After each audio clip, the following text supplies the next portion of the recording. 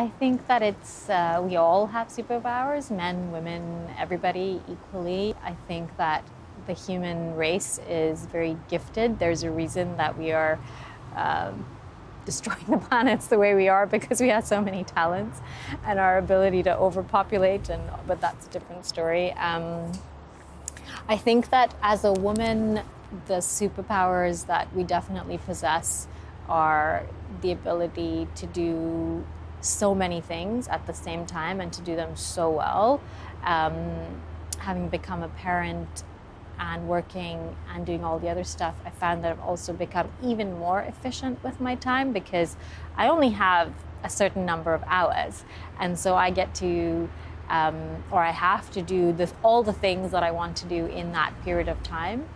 I think you also, uh, yeah, you just, uh, that sense of ambition is something that I think we all have and that we all need to nurture and uh, be surrounded with the right sort of mentors and champions to help bring that out.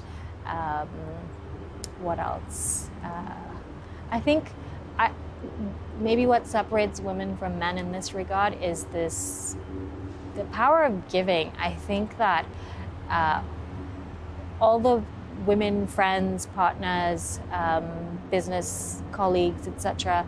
Everyone is just we're wired to be to give more than we take, and I think that's something that women, if we continue to do more of, we will have.